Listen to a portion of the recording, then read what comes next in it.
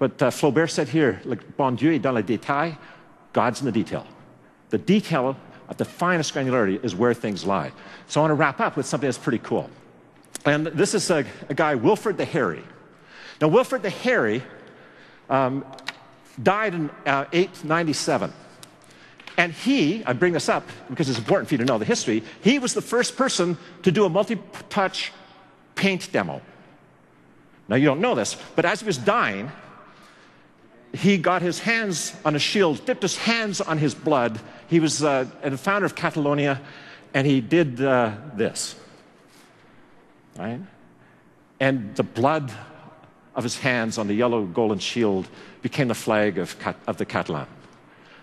And that was multi touch. And I swore I would never do this demo because it's so cheesy, but because it had a historical context, I had to do it. Now, of course, I'm kidding, but what I'd like to do is say, so maybe we could improve on it because it's not 897. So having done that, I want to introduce a really fantastic artist named Nick Kamuta. And you probably saw him uh, this morning when coming out. So Nick's going to come out and we're going to show you some stuff. And so we'll be quick, but I just want to finish up with, with a sort of an ABA structure of going from the instrument back to, to, different, to, to artists. There's a project at Microsoft Research called Project Gustav. And, uh, and they've been developing a paint program with brushes that just, in my experience, I've never seen anything like it. Um, Nick knocked this particular painting up off uh, yesterday. He was working on it, but this is painted complete from scratch. Notice he's got a palette, and while he's painting, he dips, he mixes and stirs the paint. What's critical about this thing is that they're using uh, physical modeling to, to actually model the physics and so on of the materials in the brush, right down to the level of the paper. You can, he'll show you, but you can change the paper to get different textures and the canvas, and, and it, has got depth. The lights, the shadows change depending on where the lighting is and the, and the paint behaves correctly. Maybe, Nick, could you just zoom in for a bit and just show like what happens when you just, yeah, and, totally. and, it's, it's got a, we're using some hardware that was loaned to us. It's a prototype hardware from Wacom where it's a mashup of some components that they're developing that include a 10 finger multi-touch coupled with a, a really high quality stylus. And, and when you come in, you keep going in and it's not all of a sudden fat pixels. You're, you're getting like incredible detail. And, and you'll notice that if he starts to mess with his fingers, um, he can smear with his fingers and, and mix a paint, or he can apply with his brush. He can also manipulate the page, and, and so he can come in for details and so on and so forth. so just, just quickly while you're doing this, it, but what, what's really clear, he can paint better than I can play saxophone. he, and he can really paint better than I can, I can, I can paint.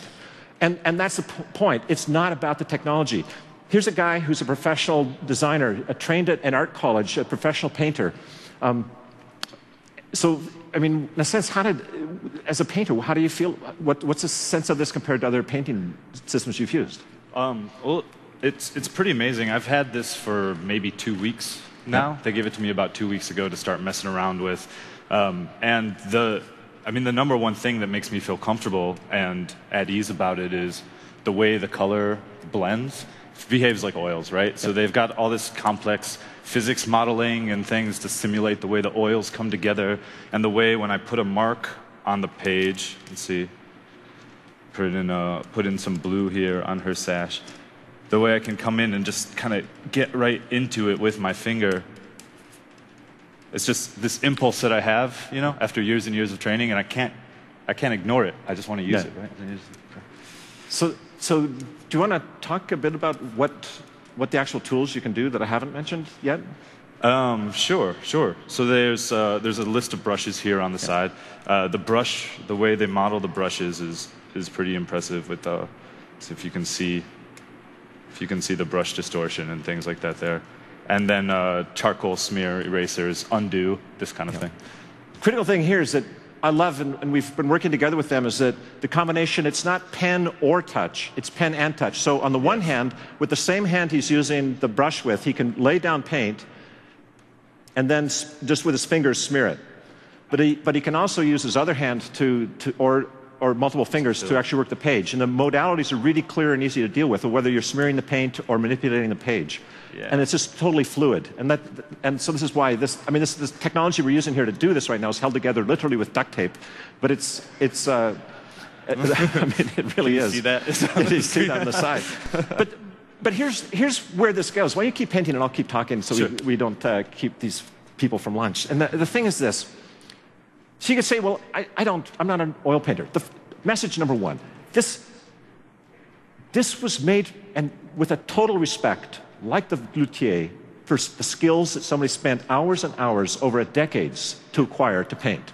That's the deal. That's the beauty of it. It's not about uh, cool technology. The, it, the technology is there as a prosthesis for the skills of the artist. I said that what you're born with is a capacity to acquire skill. Every person, every customer you have, no matter what your industry is, has acquired through a lifetime of living in the everyday world really deep specialized skills.